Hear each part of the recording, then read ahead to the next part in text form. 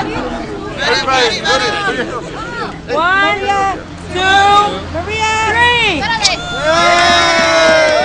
Hoy estamos teniendo la apertura del centro ACE Business and Visitor Center. Vamos a poner nuestro programa de Main Street que eh, trabaja con uh, los comerciantes en el centro de oro en la calle 5 y una galería para eh, eh, tener el arte de nuestro uh, artista latino. Compramos este edificio hace como seis años, pero no, eh, estamos teniendo que conseguir como medio millón de dólares.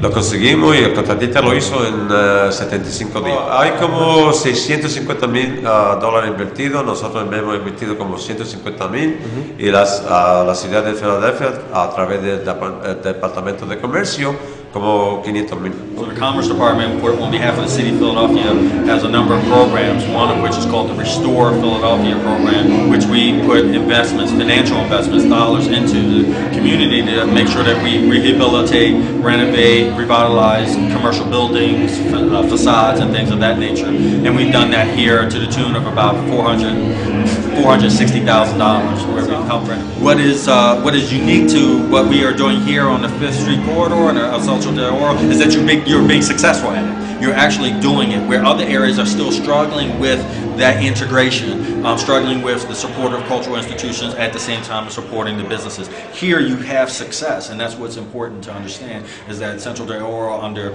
the development from the Commerce Department, the City of Philadelphia, HASE's work here, all of the Business Association here, um, they've made it work, and so that's what's Si unique. mejoramos un edificio, cambia um, eh, el- la estética de- del bloque. Yo creo que hemos visto que eh, hay- hemos llenado ca- casi todas las vacantes eh, negocios que están en, en el centro. Cuando completemos la construcción vamos a ver un centro de oro que en verdad merecemos en esta comunidad.